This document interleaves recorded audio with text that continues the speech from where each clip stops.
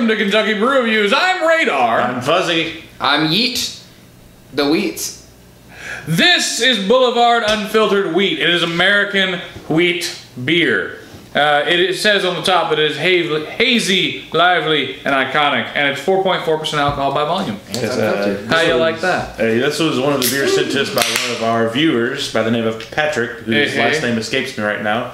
I wonder if I can do this. Last names out. I'm gonna try this now. We shipped him a. Oh, Mayor Joanne. Boom. Bow before me. And then I'll pour you one as well, Fuzzy. I'd hope so. Oh. Else, el- else Might have been a I, little bit it's too alive. heavy. It's alive. Oh no. You were terrible at I made a pouring beer. terrible choice. How's that fair? He's got way less beer. Uh, well, I'm gonna have to wait for it to not be don't worry. a, I, a giant glass of head. I, I'd rather take. I'll, I'll take the head over the beer. Take a, a Hey. tall a tall glass of head. How that? A tall, cold glass of head. Anyways, yeah, What- the uh, the color is definitely unfiltered. It, It's it- a wheat beer. it's Yeah. definitely unfiltered. It's, a, it's a Um, very nice gold. God, I like that. All that particulate. I like that a lot. What it smell like Very though? pretty. It's very. sh- It, it, the, the color in the light is just. Yeah, smells That like is the purest, whitest head I've ever seen in my Uh, it's entire got a little yellow. I Maybe- you got maybe a that direct little light. bit. You got that direct light going on. Direct light is healthy. Yeah. Yeah. Good for you. Vitamin Good for E. the psyche. Vitamin Goes E. in order now, we don't go outside. It's got kind of a Quick, I want to know about that kind of a kind of a grassy, I heard kind of a grassy scent. I just smell head. That Really? China- What's it smell like? Tell me. It smells like wheat beer and Hefeweizen I had a don't know. It baby. smells, I just smell. It smells like foam. Stick your nose down into the foam. Go for it. There's a little bit of orange or something I've been too doing, going doing on. that already. Some type of citrus. Yeah, I'm actually picking Yeah, that up a little be- bit. It doesn't have a very strong scent, but I like it. I can't really smell shit. Subtle. Well, that's because you inhaled an entire nose full of head. Well, that's because all I got is head. it's true. The whole beer is head. Just let me let me top you off there. I'll just make it worse for me. Yeah, just a little bit more. Get you some of that that delicious, head. delicious, delicious head. It added like It's gotten all. It, it looks nice. It's very on top rocky and yeah. it, it added like a millimeter of actual beer and another like you know two centimeters of foam. Well, ooh, I guess I'll try this now. If you can get past all the head. that's nice. Wow, it's way smoother than I thought it would be. You know how sometimes like wheat beers have like the weird grittiness when you. This doesn't have that. It's just like silky, smooth, mm-hmm. and beautiful. It's kind of lemony. I, I Yeah. like. I like that a lot. I got a taste. I'm Finally. proud of you.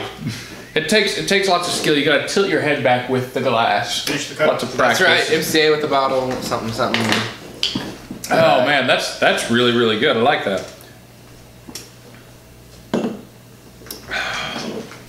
Okay, so obviously it tastes like a wheat beer. It's got that kind of creaminess mm-hmm. that that comes with being a wheat beer.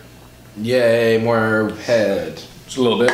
It's got that kind of creaminess that comes with being a wheat beer, which is nice. But the lemoniness It's a nice taste. is a nice finish. I like that a lot. I'm getting more of a, a more hoppy fish, finish actually, but Yeah, that might be because of all the head. I don't know. yeah, who knows?